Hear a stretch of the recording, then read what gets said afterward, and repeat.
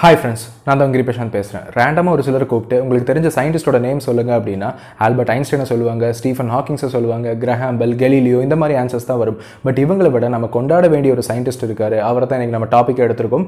Nikola Tesla யார் இந்த Nikola Tesla இவரை நம்ம கொண்டாடணும்னு சொல்றியே அப்படி கொண்டாடுற அளவுக்கு இவர் என்ன பெருசாக பண்ணிட்டாரு? இவர் மக்கள் மத்தியில் பாப்புலர் ஆகாமல் போனதுக்கு காரணமாக யாராவது இருக்காங்களா? இப்படி எல்லாத்தையுமே வந்து டீட்டெயிலாக பார்க்க போகிறோம் இவரோட காலகட்டத்தில் இருந்த மற்ற சயின்டிஸ்ட் எல்லாருமே வந்து ஸ்பேஸ் டைம் மாதிரியான விஷயங்களை பற்றி ரிசர்ச் பண்ணும்போது டெஸ்லா மட்டும் ஹியூமன் ஹியூமன்ஸோட டே டு டே லைஃப்பில் யூஸ் பண்ணக்கூடிய கேஜெட்ஸ் அண்ட் இன்வென்ஷன்ஸ் மேலே வந்து ஃபோக்கஸ் பண்ணார்.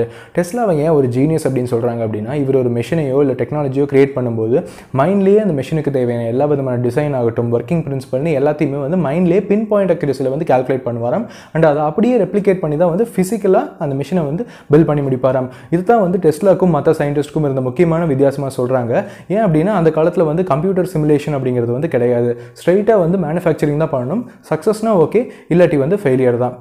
டெஸ்லா வந்து மைண்ட்லேயே வந்து ரொம்பவே காம்ப்ளிகேட்டடான டிசைன்ஸ் எல்லாம் வந்து கால்குலேட் பண்ணி நீட்டாக வந்து கொண்டு வரதுனால அவரால் கரெக்டான மெத்தடில் சீக்கிரமாக அந்த ப்ராஜெக்ட்டை முடிச்சுட்டு அடுத்த ப்ராஜெக்ட்டுக்கு வந்து மூவ் ஆன் ஆக முடியுது. டெஸ்லாவோட பர்சனல் லைஃப் அப்படின்னு சொல்லி பார்த்தீங்கன்னா இவர் வந்து எயிட்டீன் ஃபிஃப்டி சிக்ஸில் அப்போ இருந்த ஆஸ்ட்ரியன் எம்பையரில் வந்து பிறக்கிறாரு. இன்றைக்கி வந்து அது மாடர்ன் டே வந்து குரோவேஷியா அப்படிங்கிற ஒரு கண்ட்ரியாக வந்து இருக்குது. ஸ்கூல்லையும் பார்த்தீங்கன்னா டெஸ்ட்ல ஒரு பிரைட் ஸ்டூடெண்ட்டாக தான் வந்திருக்காரு. இவரால் மைண்ட்லேயே வந்து இன்டெகிரல் கால்குலஸ் மாதிரி மேத்தமெட்டிக்கல் ப்ராப்ளம்ஸ் எல்லாம் சால்வ் பண்ண முடியும்னு சொல்கிறாங்க இதுக்கு காரணம் என்ன அப்படின்னா டெஸ்லாவோட மைண்ட் வந்து ஃபோட்டோகிராஃபிக் மெமரி அப்படின்னு சொல்லி சொல்கிறாங்க அதாவது இவரால் ஒரு புக்கை அட்டை டு அட்டை வந்து எந்த ஒரு ஃப்ளாவுமே இல்லாமல் மெமரைஸ் பண்ண முடியும் அப்படின்னு சொல்லி சொல்கிறாங்க அண்ட் அது மட்டும் இல்லாமல் வந்து இவரோட அப்பா வந்து இவரை ஒரு ஆர்மியில் ஜாயின் பண்ண வைக்கணும் அப்படின்னு சொல்லி தான் ஆசைப்படுறாரு. இல்லை அப்படின்னா ப்ரீஸ்ட் ஆக்கணும். அதாவது வந்து கோவில்னா பூசாரி. இல்லை அப்படின்னா சர்ச் அப்படின்னா ஃபாதர்னு சொல்லி வச்சுக்கலாம் இந்த மாதிரி தான் ஆக்கணும் அப்படின்னு சொல்லி ஆசைப்படுறாரு. பட் டெஸ்லா வந்து கண்டிப்பாக சொல்கிறாரு நான் வந்து இன்ஜினியரிங் தான் படிப்பேன் அப்படின்னு சொல்லி சொல்கிறாரு டெஸ்லா மட்டும் ஒரு அப்பா பேச்சை கேட்டு ப்ரீஸ்டாவோ இல்லை ஆர்மிலையோ ஜாயின் பண்ணியிருந்தா இன்றைக்கி நம்ம யூஸ் பண்ணுற எலக்ட்ரிசிட்டி அப்படிங்கிறது இருந்திருக்குமா அப்படிங்கிறது வந்து ஒரு பெரிய டவுட்டாக தான் இருக்குது அது மட்டும் இல்லாமல் நிறைய இன்வென்ஷன்ஸ் இப்போ வந்து அனுபவிச்சுட்டு இருக்கிறது எல்லாமே வந்து டெஸ்லாவோட சிக்னிஃபிகண்ட்டான இன்வென்ஷன்ஸ் வந்து இருக்குது. அதுக்கப்புறம் ஸ்கூல் முடிச்சதுக்கப்புறம் வந்து இவர் யூனிவர்சிட்டியில் வந்து ஜாயின் பண்ணுறாரு யூனிவர்சிட்டிலையும் வந்து இவர் ரொம்பவே வந்து ஹையஸ்ட் கிரேட்ஸ் தான் வாங்குறாரு. இவர் வந்து எட்டு லாங்குவேஜில் பேசுவாராம். இது எல்லாத்துக்கும் மேலே பார்த்தீங்கன்னா இவர் காலையில் வந்து மூணு மணிக்கு எந்திரிச்சு வரோம். நைட்டு பதினோரு மணி வரைக்கும் ரொம்பவே வந்து ஹார்டாக ஒர்க் பண்ணுவாராம். இதெல்லாம் பார்த்துட்டே இருந்த அந்த யூனிவர்சிட்டியோட ப்ரொஃபஸர்ஸ் வந்து டெஸ்லாவோட அப்பாவுக்கு வந்து ஒரு லெட்டர் எழுதுறாங்க. உங்கள் பையன் வந்து ரொம்பவே வந்து ஹார்டாக ஒர்க் பண்ணுறான் இப்படி ஒர்க் பண்ணிட்டு இருந்தால் அவன் கூடிய சீக்கிரம் செத்துருவான் அப்படின்னு சொல்லி லெட்டர் எழுதுறாங்க. எனக்கு தெரிஞ்சு இந்த உலகத்திலே வந்து ஒரு ஸ்டூடெண்ட் வந்து அதிகமாக ஒர்க் பண்ணுறான் அப்படின்னு சொல்லிட்டு ப்ரொஃபஸர்ஸ் வந்து கம்ப்ளைண்ட் பண்ணது வந்து கண்டிப்பாக டெஸ்லாவுக்காக தான் இருக்கும். எல்லாமே நல்லா போயிட்டு இருக்கும்போது தான் டெஸ்லாவோட வாழ்க்கையில் ஒரு தடுமாற்றம் வருது. ஏன் அப்படின்னா டெஸ்லா வந்து யூனிவர்சிட்டியோட செகண்ட் இயர் தேர்ட் இயரில் வந்து கேம்பிளிங் அதாவது சூதாட்டத்தில் வந்து அதிகமாகவே ஈடுபட்டு அதில் நிறைய வந்து பணத்தை தொலைக்கிறாரு. அதனால வந்து ஒழுங்காக ஸ்டடீஸில் கான்சன்ட்ரேட் பண்ண முடியாமல் பணம் இல்லாமல் யூனிவர்சிட்டியிலேருந்து ட்ராப் அவுட் ஆகிறாரு. எயிட்டீன் எயிட்டியில் பாக்கெட்டில் வெறும் நாலு சென்ஸ் மட்டுமே பணம் வச்சுட்டு அமெரிக்காக்குள்ளே வராரு டெஸ்லா. ஆரம்ப காலகட்டத்தில் வந்து பணம் இல்லாமல் வேலை இல்லாமல் ரொம்பவே சிரமப்பட்டு டிச்செல்லாம் அள்ள ஆரம்பிக்கிறாரு. அதுக்கப்புறம் வந்து ரொம்பவே கஷ்டப்பட்டு தாமஸ் எடிசனோட கம்பெனியில் வந்து ஜாயின் பண்ணுறாரு இனிமே தான் வந்து கதையே ஆரம்பிக்குது. எடிசன் யார் அப்படின்னு சொல்லி பார்த்தீங்கன்னா நிறைய பணம் இருக்கக்கூடிய ஒரு சயின்டிஸ்ட் தான். இவர் என்ன பண்ணுவார்னா இவர் கம்பெனியில் நிறைய சயின்டிஸ்ட் வச்சு நிறைய இன்வென்ஷன்ஸ் எல்லாம் வந்து கிரியேட் பண்ணி அதில் கிடைக்கக்கூடிய அவுட்கம் வந்து இவர் பேரில் வந்து பேட்டர்ன் பண்ணிப்பார். எக்ஸாம்பிள் சொல்லணும் அப்படின்னா லைட் பல்பை இன்வென்ட் பண்ணதுக்கான கிரெடிட் வந்து நம்ம எல்லாமே வந்து எடிசன் தான் கொடுக்குறோம். பட் ரியாலிட்டி என்ன அப்படின்னு சொல்லி பார்த்தீங்கன்னா எடிசனுக்கு முன்னாடியே ஜோசப் ஸ்வான் மாதிரி நிறைய சயின்டிஸ்ட் வந்து ஆல்ரெடி லைட் பல்பை இன்வென்ட் பண்ணிட்டாங்க. அதை என்ஹான்ஸ் பண்ணி பப்ளிக்கு வந்து டிஸ்ட்ரிபியூட் பண்ணது தான் வந்து எடிசன் இந்த மாதிரி ஜென்ரல் பப்ளிக்கோட வியூவில் வந்து எடிசன் தான் பெரிய ஆள் அப்படிங்கிற ஒரு கருத்து வந்து இன்னைக்கு வரைக்கும் இருந்துட்டு இருக்குது டெஸ்லா வந்து உடனே வந்து எடிசனை பார்த்து கேட்குறாரு. நான் உங்களோட DC motor and DC generator எல்லாமே பார்த்தேன். நிறைய வந்து ப்ராப்ளம்ஸ் இருக்குது அதை நான் வந்து ஃபிக்ஸ் பண்ணி தரேன் அப்படின்னு சொல்லி சொல்கிறாங்க பதிலுக்கு எடிசனும் சொல்கிறாரு ஓகே நீ ஃபிக்ஸ் பண்ணித்தா அதுக்கு வந்து உனக்கு ரிவார்டாக வந்து நான் ஒன் மில்லியன் டாலர்ஸ் வந்து பணம் தரேன் அப்படின்னு சொல்லி சொல்கிறாங்க உடனே டெஸ்ட்டில் இருந்துட்டு ரொம்ப ஹார்டாக ஒர்க் பண்ணி அது வந்து இஷ்யூஸ் எல்லாம் ஃபிக்ஸ் பண்ணி பர்ஃபெக்டாக வந்து கொடுக்குறாரு. உடனே வந்து டெஸ்ட்டில் கேட்குறாரு நீங்கள் சொன்ன ஒன் மில்லியன் டாலர்ஸ் கொடுங்க அப்படின்னு சொல்லி. உடனே எடிசன் சிரிச்சிட்டே சொல்கிறாரு நான் சொன்னதை நம்பிட்டியா? அப்படின்னு சொல்லி சொல்லிட்டு அதெல்லாம் கொடுக்காம சம்பளத்தை மட்டும் கொஞ்சம் ஏற்றி கொடுத்துட்டு விட்டுறாரு.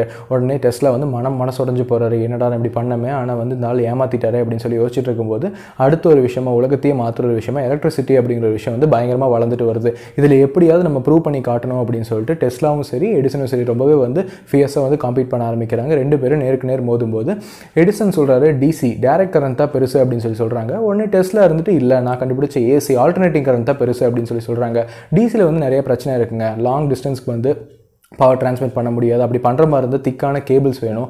பவர் லாஸ் அப்படின்னு சொல்லிட்டு நிறைய ப்ராப்ளம் இருக்குது பட் ஏசியில் அந்த ப்ராப்ளம் எல்லாம் கிடையாது. பட் இருந்தாலும் மக்களை வந்து ஏசி கரண்ட்டை பார்த்து பயப்பட வைக்கணும் வெறுக்க வைக்கணும் அப்படிங்கிறதுக்காக எடிசன் என்ன பண்ணுறாரு அப்படின்னு சொல்லி பார்த்தீங்கன்னா அவர் வீட்டுக்கிட்ட இருந்த பெட் அனிமல்ஸ் எல்லாம் நிறையா பிடிச்சிட்டு வந்து பப்ளிக்காக வச்சு ஷாக் கொடுத்து கொள்வது ஒரு யானையை வந்து அப்படியே பப்ளிக் முன்னாடி நிறுத்தி வச்சு ஸ்டேஜில் வச்சு அப்படியே ஷாக் கொடுத்து கொள்வது அப்படின்னு சொல்லிட்டு பயங்கரமாக கொடூரமான விஷயங்கள்லாம் ஈடுபட ஆரம்பிக்கிறாரு. எனக்கு கெட்டத்துலேயே ஒரு நல்லது நடக்கிற மாதிரி என்னாச்சு அப்படின்னு சொல்லி பார்த்தீங்கன்னா இவர் இந்த மாதிரி பண்ணதுனால தான் எலக்ட்ரிக்கல் சேர் அப்படிங்கிற ஒரு விஷயத்தை வந்து கண்டுபிடிக்கிறாங்க.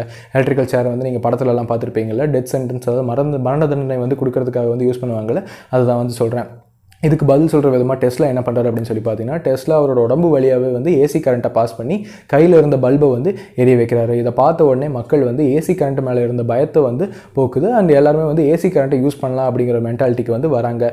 இதனால் என்ன ஆகுது அப்படின்னா ஏசி கரண்ட் வந்து ஒரு பெரிய சக்ஸஸ் ஆகுது. இதனால் புகழோட உச்சிக்கே வந்து டெஸ்லா போகிறாரு எல்லாருமே வந்து ஏசி கரண்ட்டை அடாப்ட் பண்ண ஆரம்பித்ததுனால டெஸ்லாவோட ஆதரவாளர்கள் வந்து அதிகமாகிறாங்க. எடிசனுக்கு வந்து வெறுப்புகள் வந்து அதிகமாகுது. எந்த அளவுக்கு அப்படின்னு சொல்லி பார்த்தீங்கன்னா டெஸ்லா வந்து நல்லவர். அவரோட இன்வென்ஷன்ஸ் தான் வந்து எடுத்து எடிசன் வந்து நிறைய பேட்டர்ன் வந்து பண்ணி வச்சிருக்காரு அப்படின்னு சொல்கிற அளவுக்கு மக்கள் மத்தியில் வெறுப்பை சம்பாதிக்கிறாரு எடிசன் டெஸ்ட்ல ஆல்டர்னேட்டிங் கரண்ட் கண்டுபிடிச்சதோ நிறுத்தல. அதுக்கப்புறம் கிட்டத்தட்ட நூறு பேட்டன்ட்டுக்கு மேலே வாங்குறாரு. அறநூறு இன்வென்ஷன்ஸ்க்கும் மேலே பண்ணுறாரு இதெல்லாம் பண்ணாலும் டெஸ்ட்லா மறுபடியும் வாழ்க்கையில் வந்து கீழே விழுறாரு. காரணம் என்ன அப்படின்னா எல்லா சயின்டிஸ்ட்டும் வந்து பணத்தை நோக்கி ஓடிட்டு இருக்கும்போது டெஸ்ட்லா மட்டும் எனக்கு பணம் முக்கியம் இல்லை.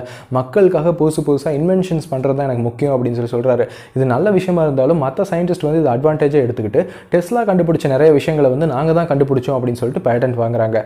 எக்ஸாம்பிள் பார்த்தீங்க அப்படின்னா ரேடியோவை கண்டுபிடிச்சது மார்க்கோனி அப்படின்னு சொல்லி நீங்கள் சொன்னீங்க அப்படின்னா அது வந்து தப்பு. ஏன்னா மார்க்கோனிக்கு முன்னாடியே டெஸ்லா வந்து ரேடியோவை கண்டுபிடிச்சிட்டாரு. இது மட்டும் இல்லாமல் ரெண்டாவது விஷயம் என்னது அப்படின்னு சொல்லி பார்த்தீங்கன்னா எக்ஸ்ரே அப்படிங்கிறத கண்டுபிடிச்சதுக்கான கிரெடிட் வந்து நம்ம வந்து ரோன்ஜன் அப்படிங்கிற ஒரு சயின்டிஸ்ட் தான் வந்து கொடுக்குறோம். ஆனால் ரோன்ஜனுக்கு முன்னாடியே டெஸ்லா வந்து எக்ஸ்ரே அப்படிங்கிறத கண்டுபிடிச்சிட்டாரு. பட் இது வந்து வெளியில் தெரியாமல் அந்த சயின்டிஸ்ட்லாம் வந்து பார்த்துக்கிறாங்க ஷாக்கிங்கான இன்வென்ஷன் என்னது அப்படின்னு சொல்லி பார்த்தீங்கன்னா டெஸ்லா ஒரு எர்த்குவேக் மிஷினை வந்து கிரியேட் பண்ணுறாரு இந்த எர்த்குவேக் மிஷின் என்ன பண்ணும் அப்படின்னா ஆர்டிஃபிஷியலாக வந்து வைப்ரேஷன்ஸ் கிரியேட் பண்ணி ஒரு பில்டிங் ஸ்ட்ரக்சரே வந்து கொலாப்ஸ் பண்ணக்கூடிய அளவுக்கு ஒரு பவர்ஃபுல்லான மிஷின் அப்படின்னு சொல்லி சொல்கிறாங்க இது வந்து பாக்கெட்டில் வைக்கக்கூடிய அளவுக்கு ரொம்பவே வந்து காம்பேக்டாக இருக்கும் அப்படின்னு சொல்லி சொல்கிறாங்க இவர் என்ன பண்ணியிருக்காருன்னா டெஸ்லா அவர் வாழ்ந்த அப்பார்ட்மெண்ட்டே வந்து இதை வச்சு ஷேக் பண்ணியிருக்காரு போலீஸ் அங்கே வந்து பார்த்தப்போ என்னென்ன நடக்குது அப்படின்னு சொல்லி பார்க்கும்போது அந்த மிஷினை தூக்கி பாக்கெட்டில் வச்சுட்டு கூலாக போயிட்டாராம். டெஸ்லா அவரோட கடைசி காலத்தில் வந்து ரொம்பவே வந்து லோன்லியாக இருந்திருக்காரு. எனி டைம் ஒர்க் மைண்டடாகவே இருந்ததுனால என்டர்டைன்மெண்ட் அப்படிங்கிற ஒரு விஷயமே இல்லாமல் நிஜத்துக்கும் கனவுக்கும் வித்தியாசமே தெரியாமல் வந்து இருந்திருக்காரு. ரொம்ப மூளை இருந்தாலும் பிரச்சனை தான் போல இல்லையா? இதே ஸ்டேஜில் வந்து கிட்டத்தட்ட மென்டலி அன்ஸ்டேபிள் ஸ்டேஜ்லேயே வந்து ரொம்ப நாள் இருந்துட்டு நைன்டீன் ஃபார்ட்டி த்ரீல வந்து இறந்துடுறாரு. டெஸ்லா இறந்திருந்தாலும் அவர் சாகிறதுக்கு முன்னாடி அச்சீவ் பண்ணணும் அப்படின்னு சொல்லி ரெண்டு விஷயத்து மேலே ரொம்பவே வந்து கஷ்டப்பட்டு ஒர்க் பண்ணிட்டு இருந்தார். ஆனால் அது நடக்கிறதுக்குள்ள வந்து அவர் இறந்துட்டார். என்னது அப்படின்னு சொல்லி பார்த்தீங்கன்னா முதல் விஷயம் வந்து ஒயர்லெஸ் எலக்ட்ரிசிட்டி அதாவது வந்து கேபிளே இல்லாமல் வந்து ஏர்லேயே வந்து எலக்ட்ரிசிட்டி வந்து ஒரு இடத்துலேருந்து இன்னொரு இடத்துக்கு பாஸ் பண்ணக்கூடிய மாதிரி ஒரு டெக்னாலஜி அதாவது எப்படி நம்ம இன்டர்நெட்டை வந்து ஒய்ஃபைல யூஸ் பண்ணுறோமோ அந்த மாதிரி ஒரு டெக்னாலஜி ரெண்டாவது விஷயம் என்னது அப்படின்னு சொல்லி பார்த்தீங்கன்னா நம்ம மைண்டில் என்ன நினைக்கிறோமோ அது ஒரு ப்ரொஜெக்டர் வழியாக ஸ்க்ரீனில் வந்து டிஸ்ப்ளே பண்ணக்கூடிய ஒரு டெக்னாலஜி அதாவது மைண்டில் என்ன நினைக்கிறோமோ அதை வந்து ப்ரொஜெக்டர் டிஸ்ப்ளே பண்ணுற மாதிரி ஒரு டெக்னாலஜி சூப்பரில் இது ரெண்டு மட்டும் நடந்திருந்தால் இன்னும் எவ்வளோ சூப்பராக இருந்திருக்கும். அட்லீஸ்ட் வந்து இந்த ஒயர்லெஸ் எலக்ட்ரிசிட்டியாவது அச்சீவ் பண்ணியிருந்தார் அப்படின்னா இப்போ நம்ம வாழ்கிற உலகம் வந்து கண்டிப்பாக வந்து வேறு மாதிரி இருந்திருக்கும். ரிமோட்டான ஏரியாஸில் கூட வந்து ஈஸியாக வந்து கரண்ட் சப்ளை பண்ணலாம். இன்னும் என்னென்னமோ நடந்திருக்கும். இன்னும் நம்ம ஊரில் வந்து பவர் லைன்ஸை வந்து அண்டர் கிரவுண்டே பண்ணல. ஆனால் இவர் வந்து நூறு வருஷத்துக்கு முன்னாடியே வந்து ஒயர்லெஸ் எலக்ட்ரிசிட்டி பற்றியெல்லாம் யோசிச்சிருக்காரு. ஹேட்ஸ் ஆஃபில் இதுதான் வந்து நிக்கோலா டெஸ்லாவோட வாழ்க்கை கதையாக வந்து இருக்குது. இந்த வீடியோ உங்களுக்கு பிடிச்சிருந்து அப்படின்னா லைக் பண்ணுங்கள் ஷேர் பண்ணுங்கள் சப்ஸ்கிரைப் பண்ணுங்கள் இன்னொரு வீடியோவில் பார்க்கலாம். Bye bye